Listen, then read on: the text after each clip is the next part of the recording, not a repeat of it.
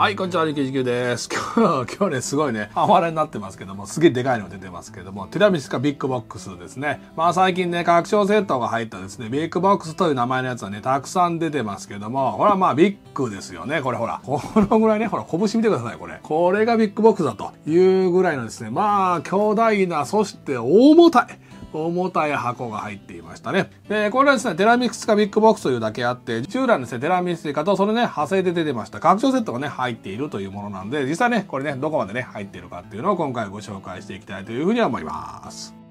はい。ではですね、ご紹介していきたいと思うんですけども、これね、ここの時点でちょっとお断りですけども、これね、量産前のですね、サンプルの日本語版をお借りしていきました。なので、細かいですね、印刷のね、色合いとかですね、調整のところは、製品版のところまでに変わる可能性がありますということですね。まあ、何がね、入ってるかもう変わらないと思いますけども、細かいこちらの色合いなんかは変わると思いますということと、実際中はね、私開けてはいないんですね。今回ね、中の概要をご紹介だけなので、新しいものが入ってるわけではありませんのでね、えー、その辺のところはご了承くださいということです。で、まあ、これね、まあ、ここだけでももうすごいわけなんですけども、まず一つはですね、このティラミスがビッグボックスをですね、えー、ここにどんだけ入っとんねんということがこうガーッと書かれていますということですね。で、今回大変なので、この辺にですね、内容物が書いてあるのですが、ここ、こあんまり書いてないですよ、最近のやつね。ほら、片付け方法というのが書いてあって、まあ本体とですね、拡張セットですね、炎と氷とかですね、商人たちとかありますけども、それぞれにどう片付けしたらいいんだと、こういうアイコンが入ってるぞという、まず、ペラモンが1枚入ってます。これがね、全体概要ですね。そしてこちらの方はですね、本体ですね。本体の方のマニュアルの方が一式入っています。私が元のですね、私英語版しか実は持っていないので、その後の日本語版その他の細かい変遷は分かっていませんが、一応ですね、多分最新の状態と思われてる初期特典が何点から始めてくださいよとか、能力っていう一覧はここの方に書かれています。これ基本セットですね。で、あと拡張セットの方ではですね、新しい種族が増えた炎と氷ですね。えー、こちらの方に、えー、氷勢力のとこでアイスメイデンとイエティですね。で、飛型の勢力としてドラゴンロードとアコライトが増えましたというやつの、この大きくですね、4種族、まあ2系統ですね。2系統増えたっていうやつが、炎と氷の方で入っています。こちらの方はですね、ガイアプロジェクトのね、拡張設定なんかでもよく似てるですね、元々の地形がない連中というのが増えた元ネタがね、多分こっちだと思いますけども、えー、こっちの方の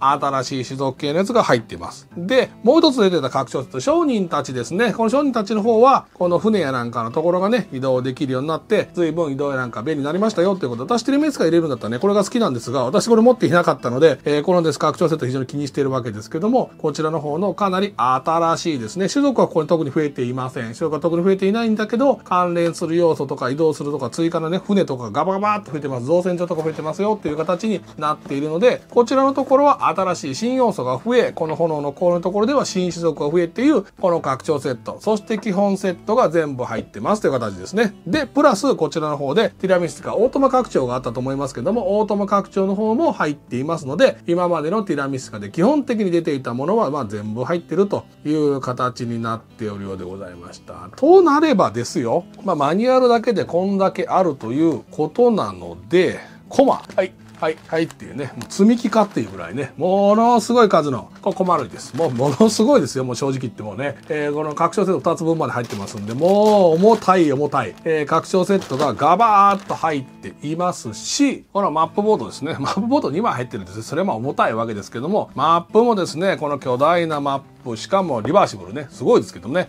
えー、このマップも2セット入っていましたしこちらの方の種族ですね。種族も先ほど言いました基本から増えてるので1、2、3、4、5、6、7、8 9、10種族ですね。もうもりもりですよ。10種族最初から入ってるとね。もう一生遊びそうな気配してきましたけども、10種族入ったと。そしてこれを支えるね、いつも言う宗教トラックもありますし、こちらの方に残りのこれらのね、パンチシートが、まあびっくりの15シートですよ。すごいですよ、これね。えー、15シート入っているという形になっていました。もちろんね、こちらのね、追加用の小さいやつも3シート、ソロ用のやつとかですね、オートマ用のカード類っていうのも入っているので、まあ完全にテラミスティカの今までの分が本当に全部一気に突っ込んだという形になってるというのがね、これビッグボックスですね。いやー、ビッグボックスというとね、本当にね、本当にでかいなという感じでしたね。残念ながらちょっと私分かっていないのが、この英語版のテラミスティカとか、日本語版のね、今まであったテラミスティカとかで、まあ誤字脱字とかね、エラッタとかね、ゼロじゃなかったと思うので、そちらのところが治ってるかどうかちょっとはっきりしませんけども、まあ、少なくとも最近入手しづらくなっていた拡張セット2つとですね、オートマっていうのはまあ完全に入ってると。元よりね、悪くなってること絶対ありませんからからね、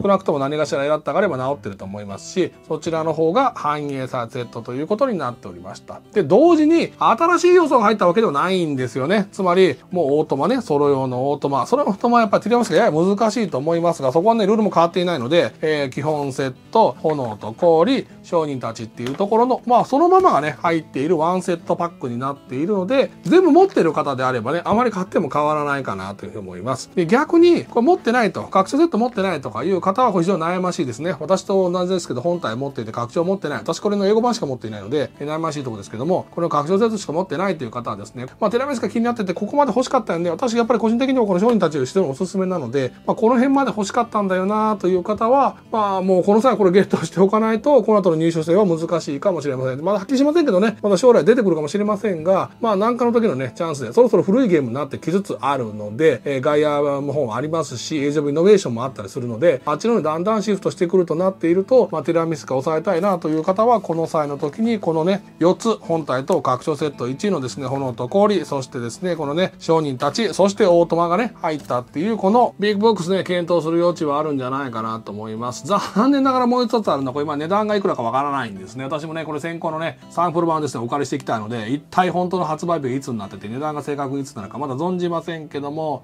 拡張セットでやっぱちょっと持っておきたいなという時は、ちょっと検討せざるを得ないのかなという感じとは思います。私も先ほど言いましたようにね、本体の英語版しか持ってないんですよね。拡張セットもちろんやったことは何回もあるんですけども、まあ、ちょっと押さえておきたいなというのであれば、こちらのビッグボックスを今手を出してみて、で、ひょっとしたらもう古いやつはね、手放してしまうとかですね、かぶっちゃいますからね、いうことも検討するんじゃないかなと思います。もちろん、最後にも言っときましたけども、これね、これは拳と比べてもこれですからね、ここのサイズはまあ普通なんですけども、この高さね、すごいし、すごい重いということはですね、知っといてもらっても、損はないかなと思いますしし、ビッグボックスとして出てきたということでですね、まあね、チャンスだと思ってですね、検討してみるのもよろしいんじゃないかなというふうに思います。